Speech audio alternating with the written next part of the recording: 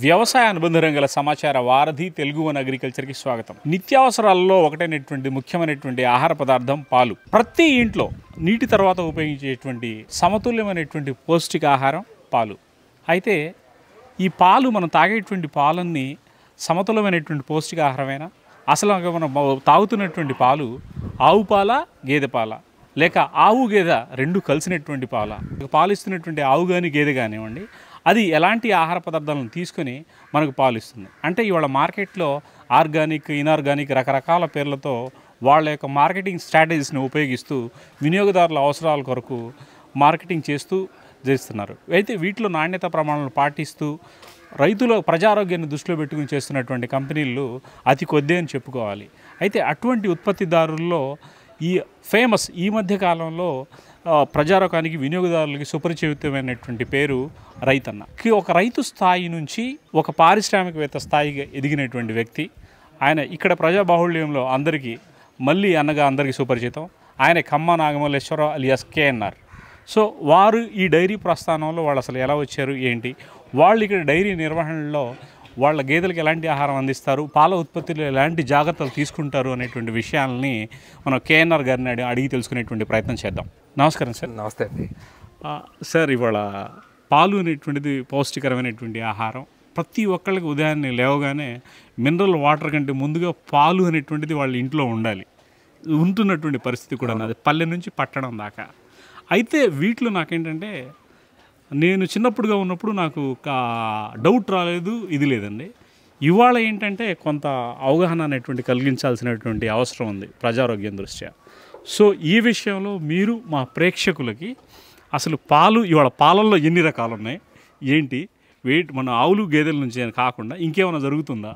అనేటువంటి దాని మీద స్పష్టమైనటువంటి అవగాహన ఇవ్వండి సార్. నమస్తే అండి. తెలుగు అన్న అగ్రి ప్రేక్షకులందరికీ నమస్కారం. నా పేరు నాగమల్లేశ్వరరావు. అందరూ మళ్ళీ అంటారు. రైతన్న dairy farm dairy milk dairy owner నేను. ప్రజెంట్ ఇప్పుడున్న పరిస్థితుల్లో మార్కెట్లో ఎలా ఉందంటే అండి వ్యాపార ధోరణి కొనసాగుతుంది పాల వ్యాపారంలో కూడా. పాల వ్యాపారం అంతా కూడా వ్యాపార ధోరణే తప్ప ఎక్కడా కూడా జనం ప్రజలు ప్రజల ఆరోగ్యం పట్ల ఎవరికీ శ్రద్ధ లేదు. ఒకప్పుడు ఇంటికి ఒకటి రెండు గేదెలు ఉండేయండి. ఇవాళ గేదెలు కనపడకుండా కనుమరుగయ్యే పరిస్థితి ఉంది ఈరోజు. పల్లెటూరు వాతావరణం అంతా కూడా పూర్తిగా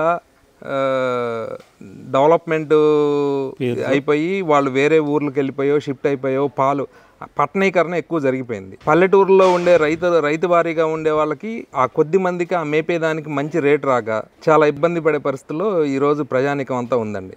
ఎందుకంటున్నానంటే మామూలుగా ఒక లీటరు కిన్లే వాటర్ బాటిల్ వచ్చేసరికి ఒక కంపెనీ వాటర్ తీసుకుంటే ఒక ఇరవై రూపాయలు ఇరవై ఐదు రూపాయలు అమ్ముతున్నారు. కానీ ఎప్పటి నుంచో చెమటోర్చి కష్టపడి పనిచేసే రైతుకు మాత్రం ఆ గిట్టుబాటు ధర లేదండి. ఎందుకంటే భారతదేశం మొత్తంలో చూసుకుంటే పెట్రోల్ బెదిగినా ద్రవ్యోల్బణం బెదగదు లేదంటే చిల్లర సరుకులు బెదిగినా బెదగదు కందిపప్పు బెదిగినా బెదగదు ఏది బెదిగినా బెదగదండి. ఓన్లీ పాలు రెండు రూపాయలు పెరగంగానే ద్రవ్యోల్బణం పెరిగిపోయి చచ్చిపోతారు జనం. ఎందుకంటే అలా ఫీల్ అవుతున్నారండి పాల వ్యాపారస్తులందరూ కూడా. పాల డైరీలు నడిపే వాళ్ళు కానీ లేదంటే గవర్నమెంట్ సంస్థలు కానీ. ఓకే అండి. ఇప్పుడు మీరు ఉన్నప్పుడు అంటే ఒక ఇరవై ఏళ్ళు మీరు యంగ్స్టర్గా ఇరవై ఇరవై సంవత్సరాల వయసులో ఉన్నప్పుడు అప్పుడు ఇక్కడ గుంటూరు బార్డర్లో ఉన్నటువంటి గుంటూరు జిల్లా ప్రకాశం బార్డర్లో ఈ ప్రాంతంలో ఒక పల్లెటూరులో సగటున ఎన్నిళ్ళకి ఎన్ని పశువులు ఉండేవి ఎంత ఉత్పత్తి ఉండేది? ఇవాళ మీరు ఇరవై సంవత్సరాల అనుభవం తర్వాత ఉంటున్నటువంటి పశువుల సంఖ్య ఎంత? పాల ఉత్పత్తి ఎంత? ఇది ఒక్కసారి చెప్పండి సార్. ఇప్పుడు ఒక విలేజ్ని తీసుకుంటే అండి మినిమం విలేజ్లో వెయ్యి మంది జనాభా ఉంటే కనీసం నాలుగు వందలు మూడు వందలు నాలుగు వందల గేదెలు ఉండేయండి విలేజ్లో. ఇవాళ వెయ్యి మంది జనాభా ఉన్న ఊర్లో ఒక యాభై నుంచి అరవై గేదెలు ఉన్నాయి. కానీ ఈ పాలన్నీ ఎక్కడి నుంచి వస్తున్నాయి అనేది ఒక డౌట్. ఆ డౌట్ ఏంటంటే అండి మన స్థానికంగా ఉండే రైతుకి ప్రోత్సాహం లేకపోవటం వల్ల మన దగ్గర ఉండే రైతు మానేశాడు. ఇప్పుడు పక్క రాష్ట్రాలు తమిళనాడు కర్ణాటక మహారాష్ట్ర ఇట్లాంటి స్టేట్ల నుంచి కుప్పలు తెప్పలుగా ఆవు పాలు తీసుకొచ్చి ఇక్కడ కొట్టి అమ్మే పరిస్థితి అండి కంపెనీలన్నీ కూడా.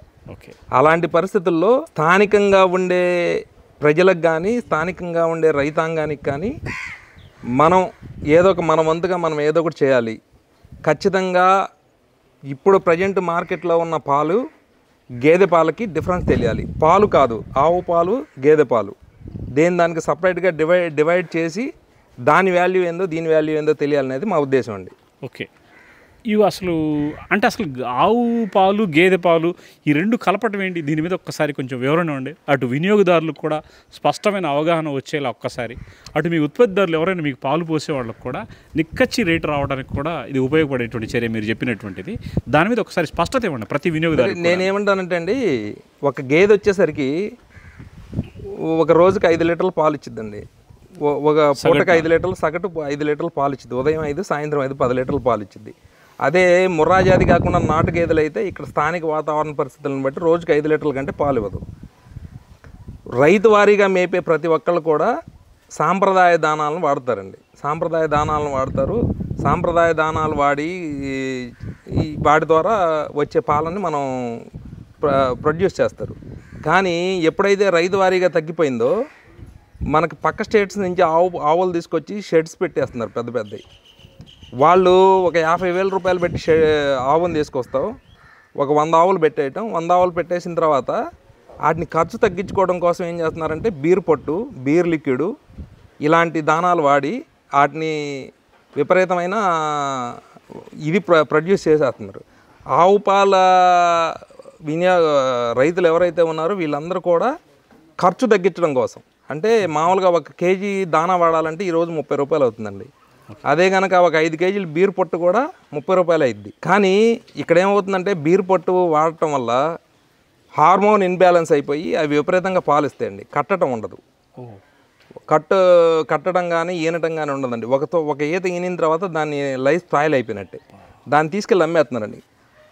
ఒక ఆవు పరిస్థితి ఇలా ఉంటే మరి దాన్ని పాలు తాగే మనుషుల పరిస్థితి. మనుషుల పరిస్థితి ఏందండి? చిన్నపిల్లల పరిస్థితి? చిన్నపిల్లల పరిస్థితి? మనం ఈ పాయింట్ ఆఫ్ వ్యూలో ఎవరు చూడలేదండి ఆవు పాలు మంచిది అనుకుంటున్నారు ఆవు పాలు మంచిదంటే ఆవు పాలు మంచిదండి. ఏ ఆవు పాలు అండి ఆవు పాలు అనేది దేశీ ఆవు పాలు.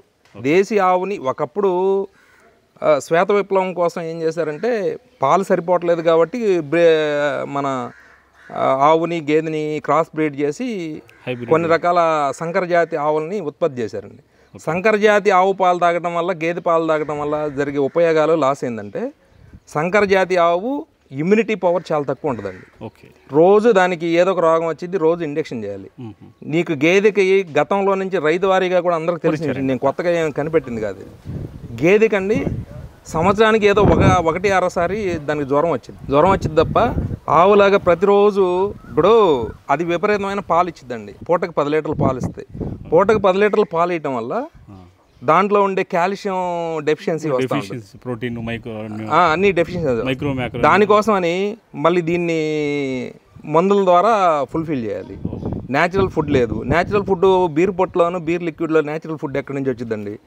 వాడు మేపేది మొక్కజొన్న పిట్టో లేకపోతే సజ్జో లేకపోతే జొన్నో లేకపోతే బా ఏదో ఒక మంచి సాంప్రదాయ దానాలు పూర్వకాలం నుంచి అందిస్తే. దానికి మామూలుగా ఆటోమేటిక్ డెఫిషియన్సీ వచ్చింది. ఆటోమేటిక్ ఫుల్ఫిల్ అయింది కాల్షియం అన్ని కూడా సప్లిమెంటరీస్ అన్ని అందుతాయి. ఉంటాయి కాబట్టి. నా ఉంటాయి కాబట్టి. కానీ వీడు వాడుతుంది బీర్ పొట్టు కదా. ఈ బీర్ పొట్టులో నీకు ఇవన్నీ ఎక్కడి నుంచి వస్తాయి? దాన్ని ఫుల్ఫిల్ చేయడం కోసం ఇండక్షన్ ద్వారా లేకపోతే మందుల ద్వారా ఆ అల్లోపతి మందుల ద్వారా మొత్తం ఫుల్ఫిల్ చేస్తున్నాడు. కానీ మనం ఆ పాలను తాగి ఇప్పుడు మీరు చిన్నప్పటి నుంచి చూడండి మా మదర్ ఉంటుంది మన ఇంట్లో ఒక తల్లి ఉంటుంది ఒక చిన్నపిల్లకి పాలు ఇచ్చిద్దండి. పాలు ఇచ్చినప్పుడు ఆ అమ్మాయి ఏదైనా తెలియకో ఏదైనా జరిగి ఒక ఒక కారం ముద్ద తిందనుకోండి ఆ ఎఫెక్ట్ ఎక్కడ వచ్చింది పిల్లవాడికి వచ్చింది వచ్చింది కదా? ఖచ్చితంగా. కానీ భారతదేశంలో ఉండే ఏ క్షీరజమైనా పాలిచ్చే ఏ జంతువైనా మనిషి అయినా తన తిన్న ఆహారం వెంటనే ఇదయ్యేది పాలల్లో. ఓకే. ఆ పాలు తాగిన మనిషి ఏమవుతాడండి? అది ఎఫెక్ట్ అవుతుంది. ఎఫెక్ట్ అయిందిగా ఖచ్చితంగా అవుతుందిగా. అదండి. గేదెలకేమో అలాంటి సిస్టమ్ లేదు.